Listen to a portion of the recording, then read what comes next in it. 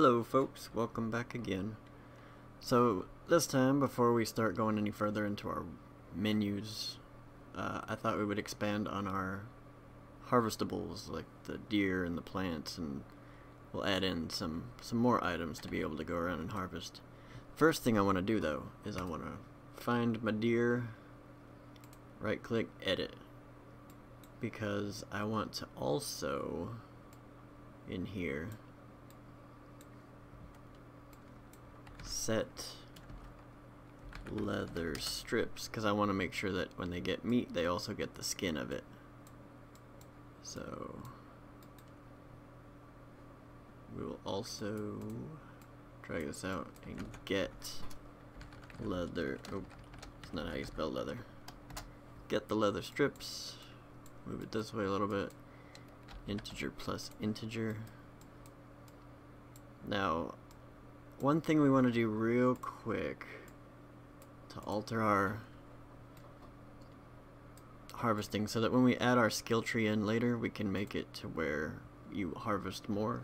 I'm gonna add three more stats to our player base. So I'm gonna add three variables. This one's going to be meat harvest multiplier. I'm gonna change it to an integer duplicate. Delete that go back. Call this one plant harvest multiplier. And then duplicate one more time. Delete that part. And call this ore harvest multiplier. So right now I'm gonna leave them all set to zero. But this way we can get meat harp no wait. That's right one more it's four not three. Duplicate leather harvest multiplier. So compile that up and then here we want to get leather harvest multiplier. And plus integer plus integer off of this. Set that there. Since this is 0 when it's default, it'll just add 1 to our leather. But this way, when we when our character levels up and they get stat points later on, we can make it to where, oh, you're a better harvester now. You get double the leather. We add some to this and it'll add it to how much we get. So we want to do the same thing over here. So I'm going to box select everything and just move it this way. Oh, this too. Get meat harvest multiplier. Off of our meat to give, integer plus integer. Add that in right there, and then plug that in. So that's all we need to do to update that.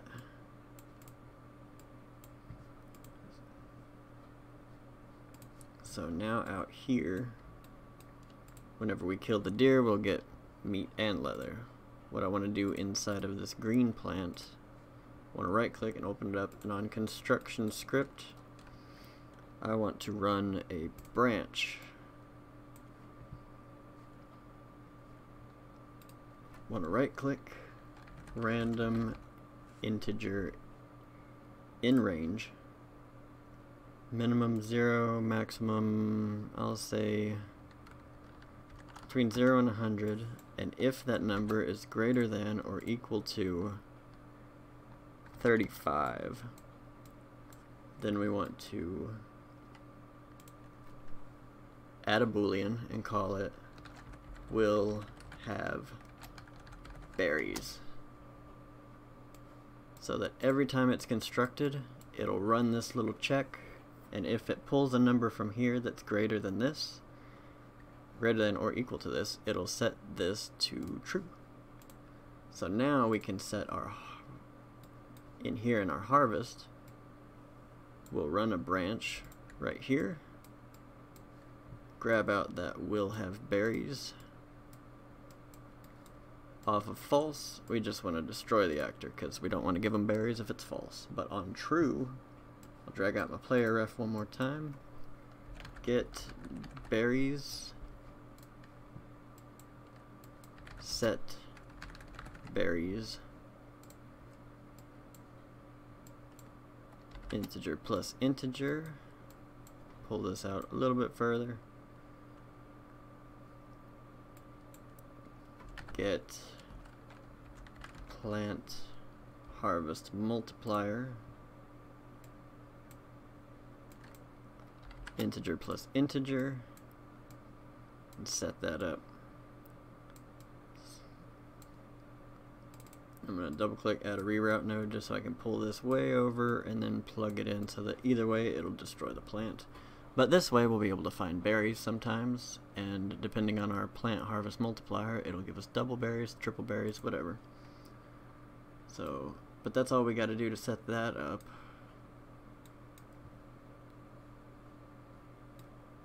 Okay. So now, let's test both of those real quick. Kaboom. So that should have given me six. That can't be right. Oh, I know what that is. Let's find my inventory. Green plants, zero. Yellow plants, zero. Blueberries, zero. Zero. Cooked meat. Leathers. Ah, okay. Yeah, it was set to five iron ore zero. Just kind of drop everything back down. Now let's test it. Yeah, everything's set to zero now. So,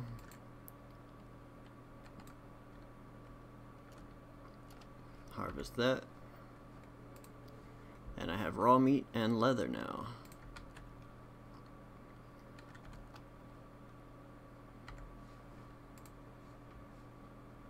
Got a green plant, but no berries. Let's try again.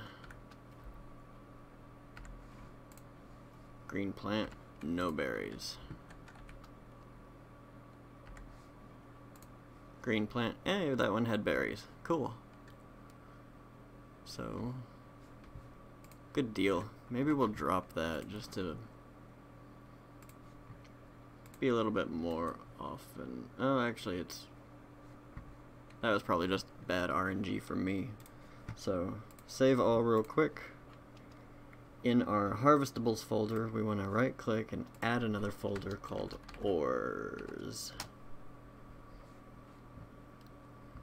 Just for prep work for later. So, plants, one thing we want to do, we'll duplicate our green plant, call it yellow plant underscore BP. We'll open that up. We're just going to duplicate it out because it'll be a lot easier to just go in and adjust everything than it would be to do it all from the beginning. So we'll leave that exactly as it is. That's good. Harvest current, that's fine. We want to that. We'll replace that with yellow plants. we want to take that away because we want to set yellow plants. Oh, one thing I forgot to do in the other one apparently is plant harvest multiplier. So we'll integer plus integer on that and then set that and then hook that up there and the rest should be fine. So now we'll just adjust its static mesh. Which I think the one I wanted was Fern 1. Yes. That's the one. It's not really yellow, but we'll... Um, it'll be fine for now. Actually, let's see. I'll right... I'll go to its material, duplicate it. Yellow plant underscore matte. Double click, open that up. Let's see if maybe I can alter that. M left click for a multiply. 3 left click for a constant color. Set it to a yellowish and then we'll multiply its its material by that for the base color and see if maybe Not really.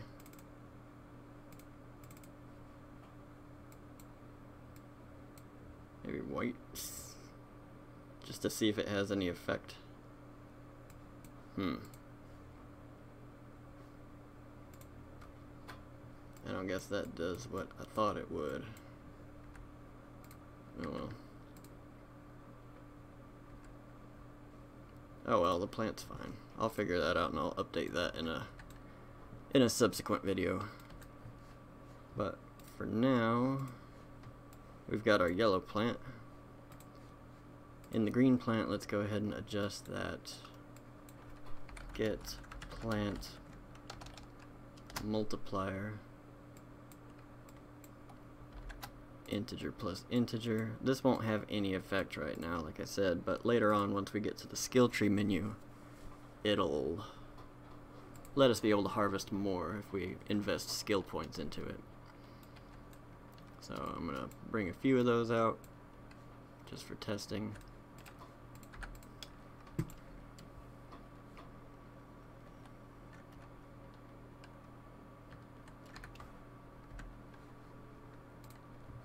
Yellow plants. No blueberries yet, though. Hey, that one had blueberries. Good deal. So let's get some green plants.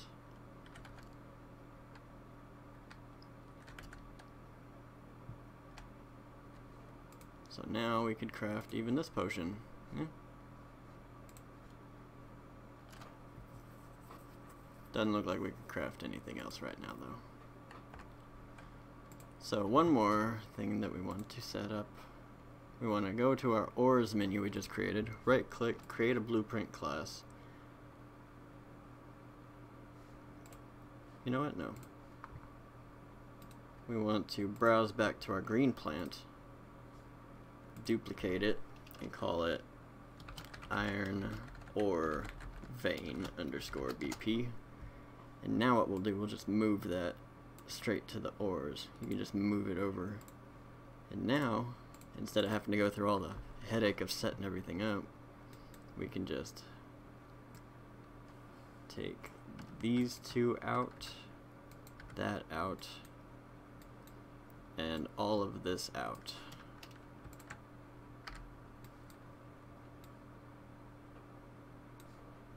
And we can take this out of the construction script.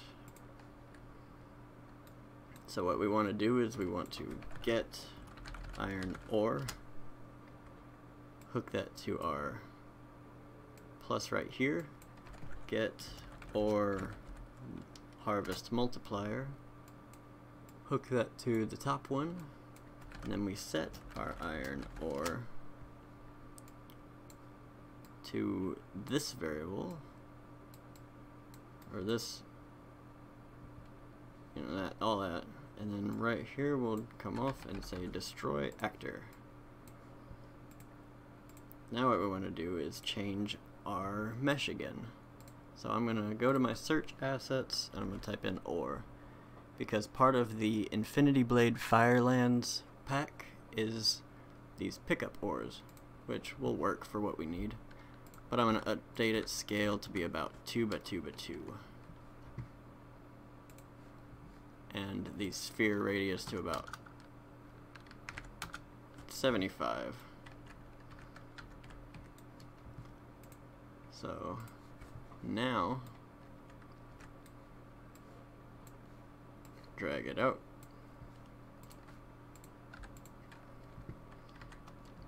Test it out real quick.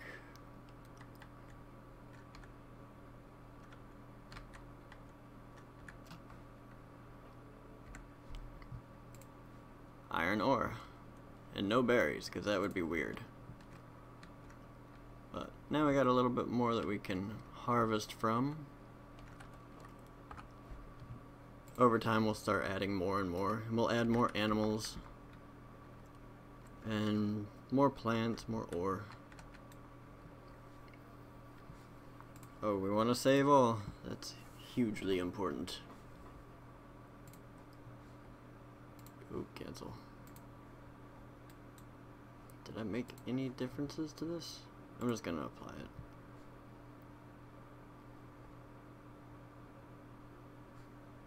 Cause I don't even think we're using that one. So, but, so that's as, as simple as it is to add more plants. You can just duplicate the one you already got, make the small little adjustments that we made, find a good plant representative mesh in here, and then set it all up, and you're good to go. So, thanks for stopping by again.